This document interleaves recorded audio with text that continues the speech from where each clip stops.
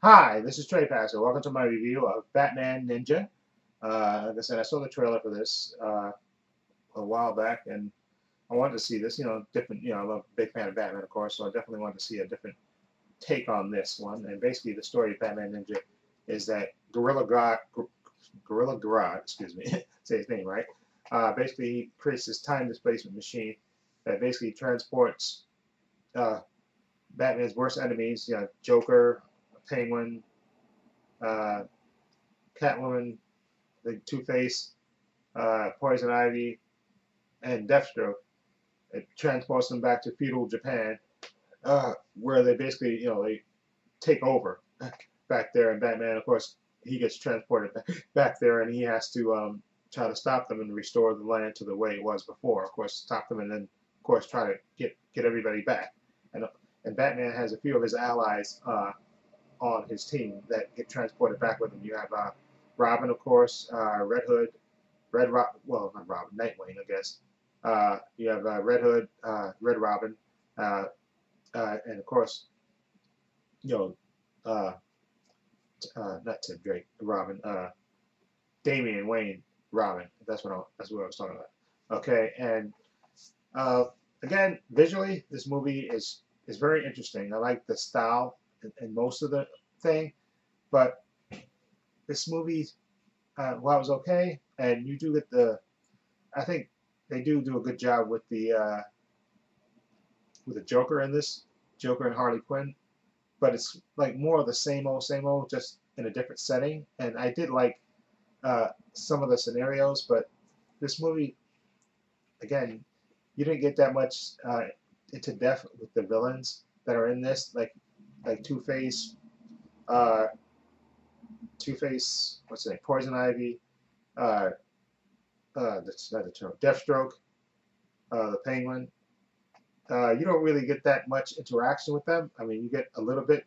Apparently, when by the time Batman gets transported back into time, they've been there over two years, and the, the Joker's like ruling everything, and all the different other villains like Two Face and and uh, Penguin and stuff. They have their own little carved out their own little sections, and they're all supposed to be, you know, with the Joker running everything. And it's just this one didn't really, you know, like I said, visually it was. It, that's the only thing that kept me interested in it, the visual, because the story, yeah, it's basically the same. Batman trying to stop these villains, and, and you know, basically Batman's going to win it.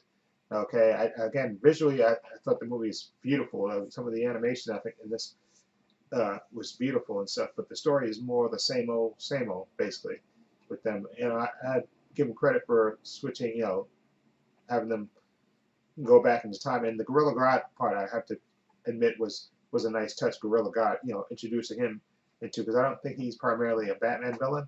I think uh, Gorilla God. I'm sorry, Gorilla God. I think is mostly a, uh, uh, a Flash villain.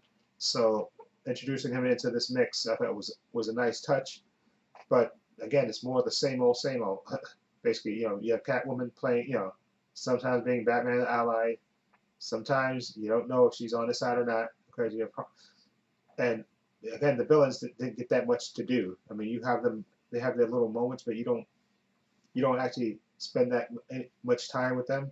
Uh, like, like I said, Two Face, Penguin, Poison Ivy, and Deathstroke. You don't really spend that, you know, they only have brief, like, cameos, basically, in this movie, so you don't really, it's mostly the Joker and Batman, which is always a good relationship, but it's more this, it's more the same, it's the same old, same old.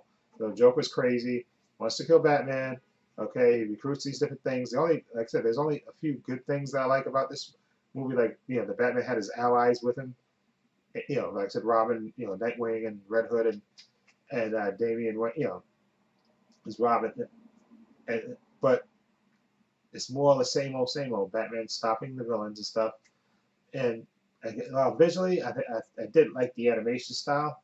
I thought it was actually beautiful. And but it's you know it's more the same old, same old. Okay. Uh, it just didn't wow me. I guess is what I'm trying to say without saying it. you know, it's it was a nice, okay, okay. You know, you got to see the different animation styles, which that was good too. I like that part about it. But you know, it's basically the same story, you know, same Batman story. You can write this story in your sleep, basically. Uh, okay, villains, uh, want to plot take over the world. Batman has to stop them. Okay, and he teams up with his allies. Okay, and sometimes with his frenemy, you know, Catwoman lover. Uh, and you even have Alfred here. You have, you know, again the the Robins and stuff. And it's the only difference is that they, you know, they did change it to the, you know, a feudal Japan setting, which was, you know, good for visual, but it's the same old, same old basically with this, and it really just didn't didn't wow me. Again, it was an okay movie, but it's not something that I I would say was one of the best uh, DC animated movies. It's an okay movie, but it's more the same old, same old. Okay, and I think the act, the voice actors, I, I guess there was a lot of you know, since uh, Warner Brothers Japan did this, you know, a lot of Japanese actors. I think the actors were okay with the voices. I like the guy who voiced uh, Gorilla Grodd. I thought he did a really good job with that. And the guy who did the Joker, I thought he did a really good job as a Joker. And uh, but it's more of the same old, same old.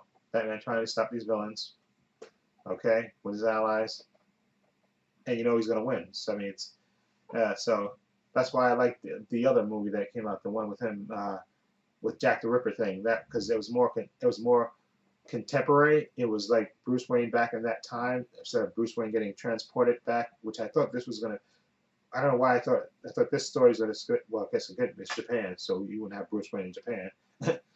so, but it was basically him being transported, him and the villains and his allies all being transported back into time, you know, and and, and them trying to basically, you know, stop the villains and and return feudal Japan to the way it was, and then get back in the time displacement machine and transport everybody back.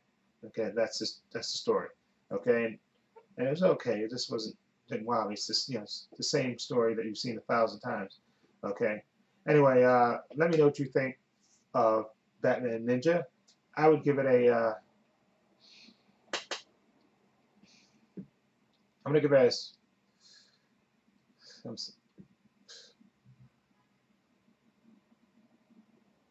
I'm gonna give it a 6.6.8, 6.8, and that's mostly because of the animation style. I like the animation style. I thought that was really good.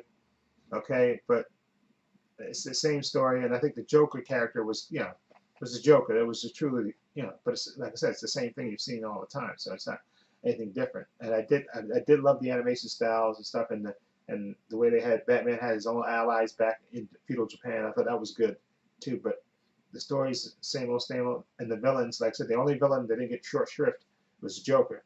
Okay, all the other villains got short shrift. And Gorilla Grodd was in it uh, a little bit more. I think he got a decent amount of time. But like Deathstroke, Penguin, Two Face, even Bane was in short for a minute.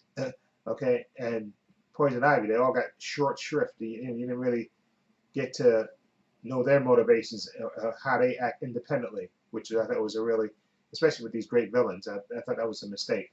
But okay, again, 6.8 for me okay, just because of the visual style like that. There was certain things I did like about it, but it just it didn't wow me. The story. Uh, so I'm looking forward to the next DC animated movie, which is going to be I think Superman, The Death of Superman, which this time they're going to add the Justice League into it, which I think will make it a little bit better.